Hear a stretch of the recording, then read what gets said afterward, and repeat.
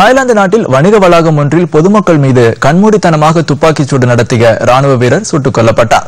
பதினேழு மணி நேர நீண்ட போராட்டத்திற்கு பின் அவர் சுட்டுக் கொல்லப்பட்டதாக ராணுவ தரப்பில் தெரிவிக்கப்பட்டுள்ளது. சுமார் நூறு பாதுகாப்பு படை வீரர்கள் இந்த பணியில் ஈடுபடுத்தப்பட்டதாக கூறப்பட்டுள்ளது. ஜக்ரபந்த் தொம்மா என்ற பெயர் கொண்ட இளநிலை ராணுவ வீரர் ராணுவ தளவாடத்தில் இருந்த நவீன துப்பாக்கியை கைப்பற்றிக் கொண்டு முகாமில் இருந்த ராணுவ வீரர்கள் மீது துப்பாக்கிச்சூடு நடத்தினார். இதில் ராணுவ வீரர்கள் சிலர் உயிரிழந்ததாக தெரிகிறது.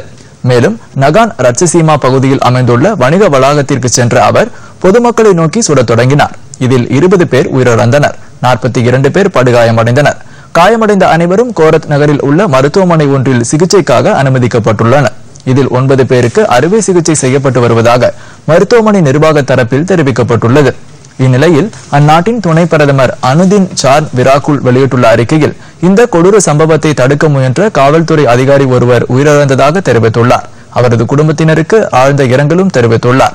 இதனிடையே முகநூலில் பரவி வரும் இந்த தாக்குதல் தொடர்பான வீடியோ நீக்கப்பட்டுள்ளதாக அந்நிறுவனத்தின் செய்தி தொடர்பாளர் கூறியுள்ளார்.